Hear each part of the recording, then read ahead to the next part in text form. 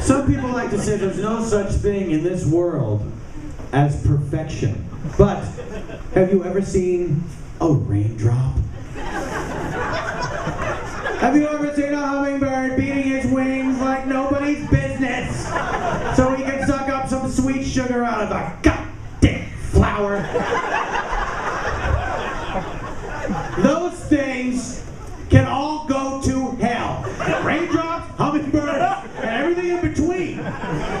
Because guess what? They didn't get it right.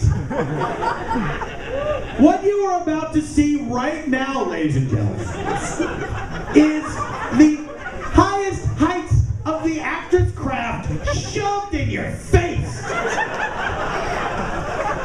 I hope somewhere that the moldering corpse of Edmund Kean is crying.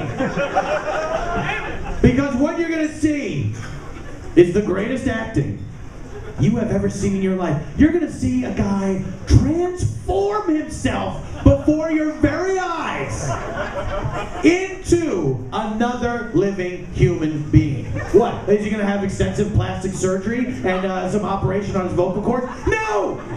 You idiots!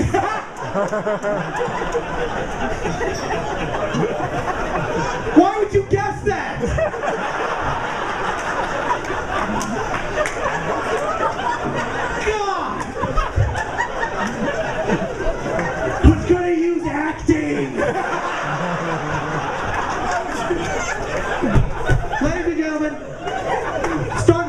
to your grandchildren. Because they'll want to hear about this. I present to you James Jimmy Pardo. In the role in the role of a lifetime. Oh, man, Harry Wiggle!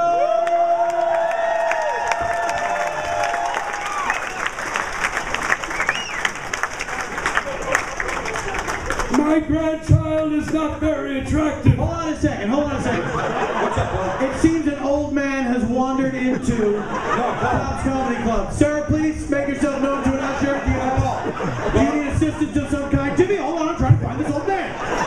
Paul, that was me. He's probably lost, senile dementia. Sir, you're in a safe place. I'm sure you're looking for your grandchildren and people to ask you about them.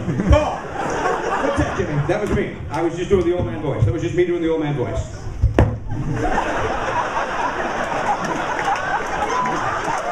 Yeah.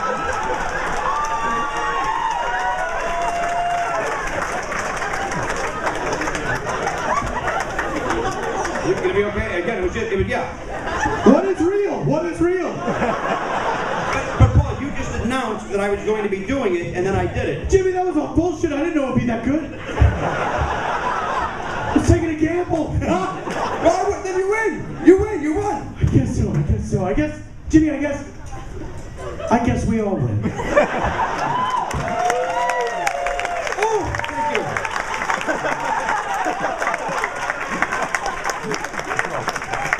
thank you. Thank you.